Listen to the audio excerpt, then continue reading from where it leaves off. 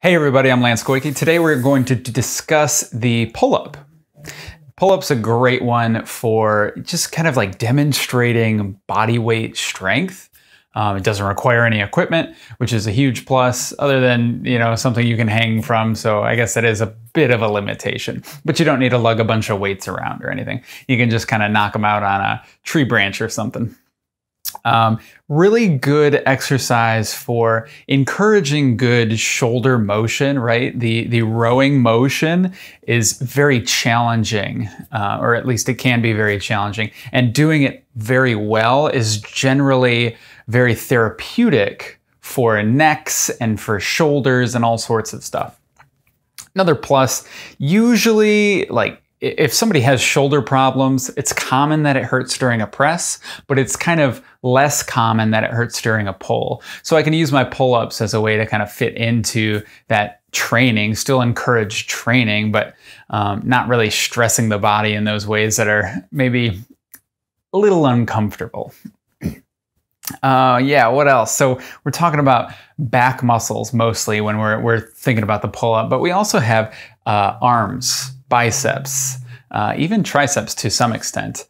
Uh, this exercise is the multi joint, it's the squat of the upper body, right? The squat is a nice big bang for my buck. I'm gonna use a bunch of my different joints. I'm gonna stress my entire system and uh, um, really challenge you know everything that is involved here so i challenge my strength my balance my coordination um, everything the pull up is kind of like that, right? It's just like the squat.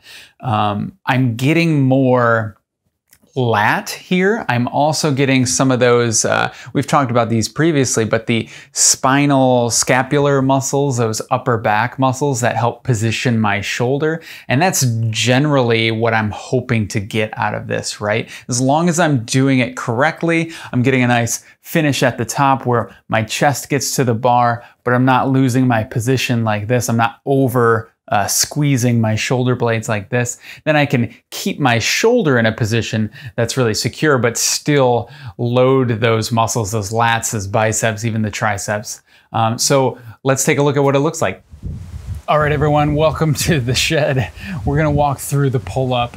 Uh, first, about a shoulder width grip, just like this. I'm hanging up, I'm grabbing my bar or my door frame in this case, and then I'm going to introduce the hang first. Okay, so when I do this, I need to make sure my chest isn't sticking out too much. I'm getting a good ab tone here holding myself up.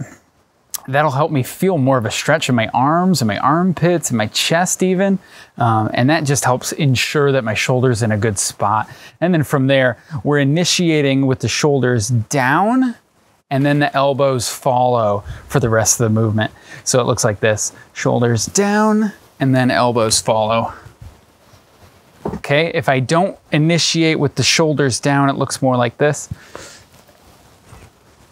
And usually I did the teeth and everything for you. Usually people kind of struggle on their face a little bit more. Um, so yeah, shoulder width, initiate with the, sh uh, the shoulders moving first, and then uh, just layer on a couple reps. What I like to do is I, I kind of like pausing because I get a little stretch at the bottom, and I like the way that feels on my shoulder and everything. Uh, you don't necessarily have to, and if I'm doing a bunch of reps, I'm not doing that. I'm not pausing at the bottom, I'm just down, back up. And I kind of use that quick stretch to help drive me up onto my next rep. Just try to make sure you're gripping the bar evenly. That'll help limit any issues you're having with twisting or turning or asymmetries and whatnot.